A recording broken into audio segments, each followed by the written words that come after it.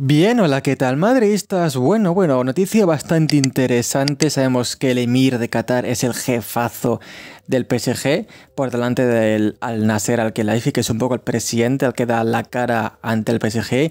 Y ha habido un poco de discusión entre ambas partes. ¿Por qué?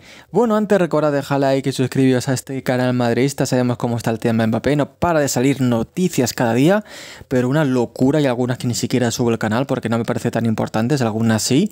Y esta me parece muy interesante porque Al Khelaifi pide no vender Mbappé al Real Madrid.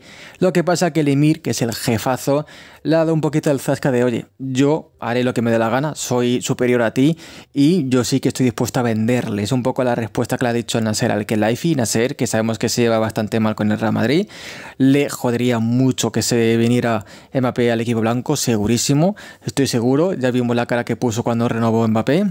Así que sería, bueno, bonito verle la cara cuando esto pase, si pasa, veremos, estaremos muy atentos, pero el Emir sí que ve que es más necesario de lo normal vender a Mbappé y a Nasser al Khelaifi está viendo que, bueno, puede ser, pero no le gustaría, pero bueno, le está callando un poquito la boca, así que ojito, si el Emir quiere realmente venderlo, ahí es cuando hay grandes posibilidades de que venga el queridísimo Mbappé.